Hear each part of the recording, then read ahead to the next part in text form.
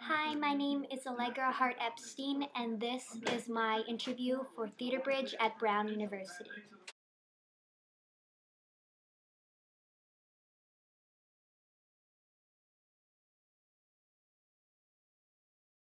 Well, it all started when I was probably three, and I saw my first play, Beauty and the Beast, with my mother and my father and my twin brother.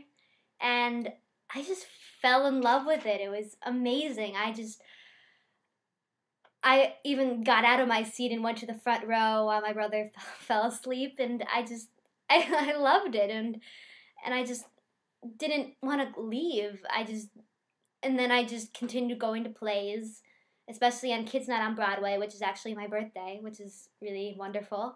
And another instance like that was when I was in first grade, and we saw Les Mis, and I was just so wrapped up into it. I I the French Revolution was so amazing to me, and I was so happy. And the guns, like shout, um, pistols and everything, just were spectacular. And my brother cried, of course, and left the room. And I didn't understand why. I just got so into it. And after that, I, I asked my mom to, you know, give me dance lessons and to give me singing lessons. And it was wonderful. And my mom was very happy to oblige. And my dad is actually a singer too, so that was very helpful. And so I took a lot of singing lessons. I still take singing lessons today. And I did a lot of ballet, I did jazz, I did show dancing, which was my favorite. And I had wonderful teachers, and it was great. But there was always a little bit something missing. Like, I.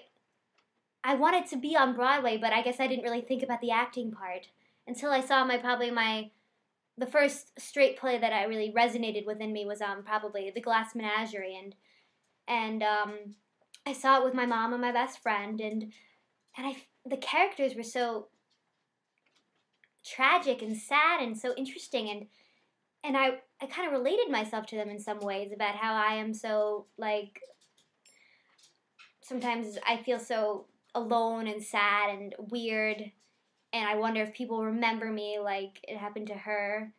And after that, I asked my mom if I could have acting lessons, and she was very happy to give them to me. And the first time I really had any acting lessons was over the summer. I went to New York Film Academy, and for two sw- summers actually, and I, I really, I really fell in love with acting then. It, I, I just loved it. It, time flew by so quickly. I never wanted it to end, and most importantly, it, when I played characters, all sorts of characters, I kind of found out more about myself because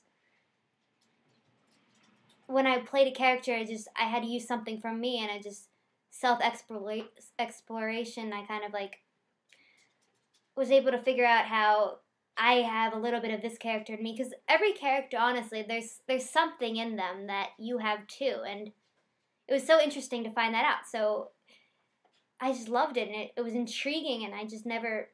I love to think about the characters when I got home and think about what they did before it and everything. I just it's so interesting to me and I want to continue it. And this summer I'd love to go to this and really watch other people on stage do it, help them and and and work on myself too and and and new ways and it's just it never gets boring and I really would love to do it. Keep going.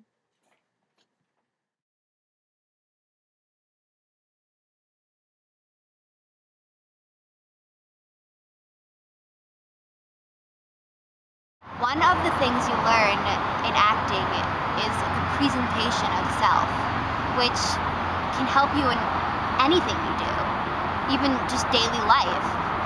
And so, above all, that that will help me in my life and everything I do. Just talking to my friends, talking to my teachers, um, explaining things to others. It, it will help me with everything. And if acting is not what I choose to do in my life, it will help me in the other careers that I decide to do, which is like, which is uh, uh, either law or psychology. And um, in law, you have to really understand your case, understand why everything happens, what motivated you know, this person to do this and that person to, to do that which is something you learn in acting. Um, why people do things, motivations. And in psychology, um, we you really have to understand your patient, what goes through their mind, what is their ana- analyze analyze them, which is something you have to do in acting. You have to analyze your character. You have to dissect them. You have to take everything out and understand why this happened. Why? What would make them do that?